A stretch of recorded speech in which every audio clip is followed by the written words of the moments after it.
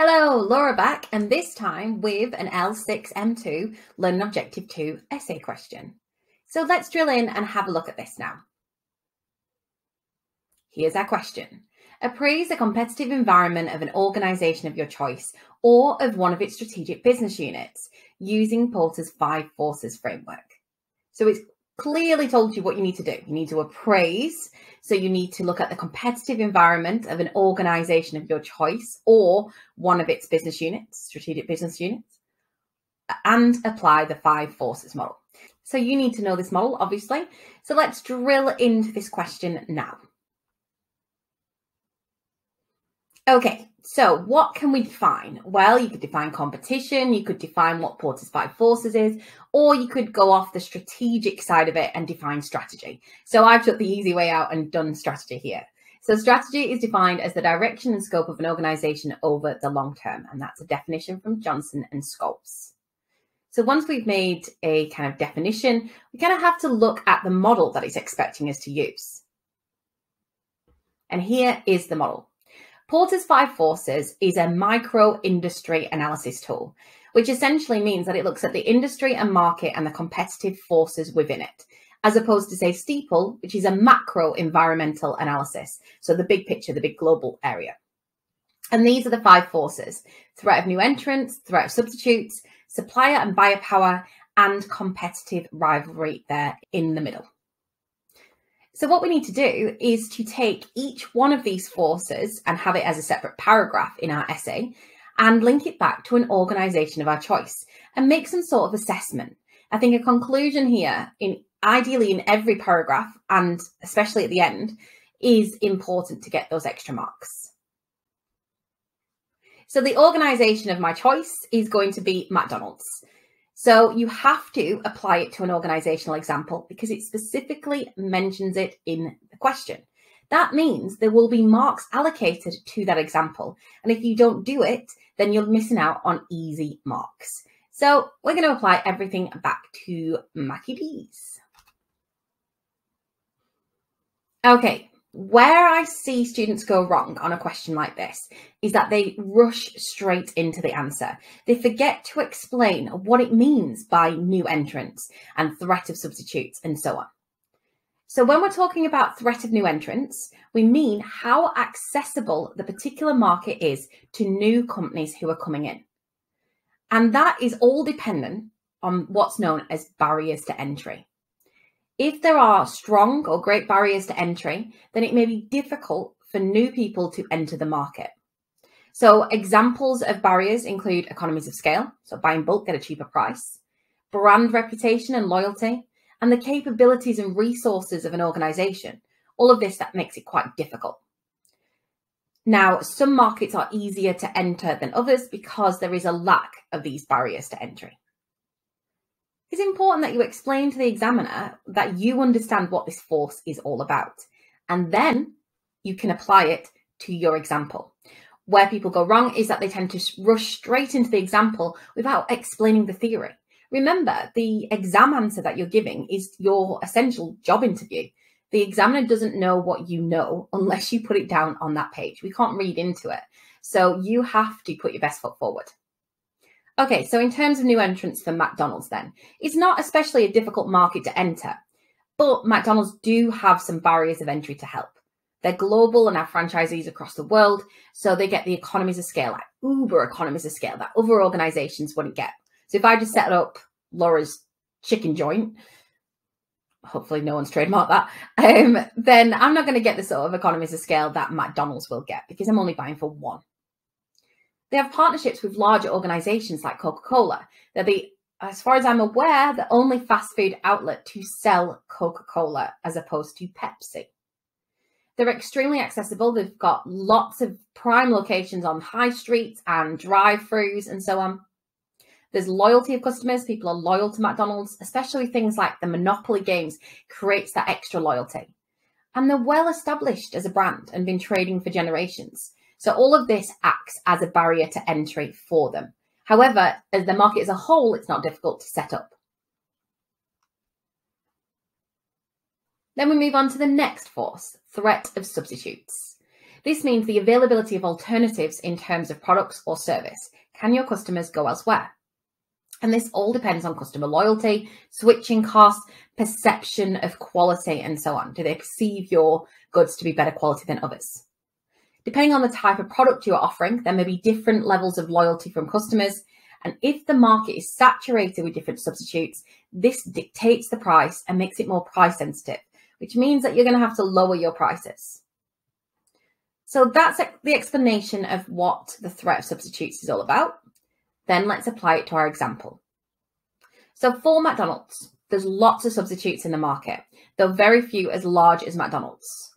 And the way that McDonald's kind of deal with the threat of substitutions is that they have different ranges, targeting different customers from, say, kids with the Happy Meals to the luxury burgers to the McCafes with the coffee and so on. So they are trying to appeal to all kind of demographics. There are no switching costs per se, although I do think that in the UK at least, when you go to Burger King, it does seem to be a lot more expensive than McDonald's. Don't quote me on that, but that's just my impression. However, there is a kind of customer loyalty to the range of offerings that McDonald's has, whether it's a Cadbury's McFlurry or whether it's a chicken nugget or something along those lines. People want and will be loyal to that particular thing. And the market is quite price sensitive. But McDonald's have responded to this with a range of different prices. So they've got the value meals versus the kind of luxury signature burgers and so on. So they're trying to kind of caveat that substitution. So that's threat substitutes. Supplier power. Supplier power is generally exercised to raise prices and squeeze a buyer's profits down. Suppliers have power when they are limited in number, so there's very few of them, or they're a very large size and there's a lack of substitute products, so the buyer can't go elsewhere. In terms of McDonald's supplier power, McDonald's have a lot of control over their supply side for a number of reasons. Firstly, due to their size and reputation as an established brand that's been a market leader. So obviously, it's a huge account for a supplier to have to supply McDonald's, usually. Secondly, they have some close long term partnerships, you know, like the likes of Coca Cola and so on. And in America, I believe they've done backward vertical integration where they've actually taken over the cattle farms to control the quality of their meat. There are lots of suppliers in the market for the majority of what McDonald's are buying, and quite a few large buyers who have large shares of the market.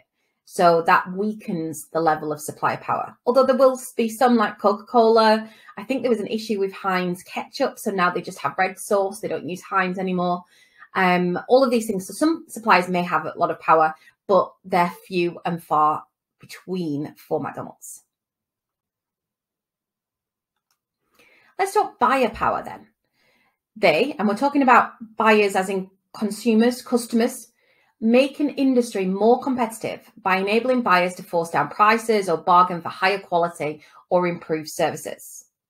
So buyers are powerful when they're limited in number and their spend is a high proportion of the supplier's revenue and where there are substitute products. So if we apply this, and I really am going to focus not as the buyer for McDonald's, but as the customer, what power do consumers have? Well, customers actually do have more power than you might think. There are multiple substitute options on the market.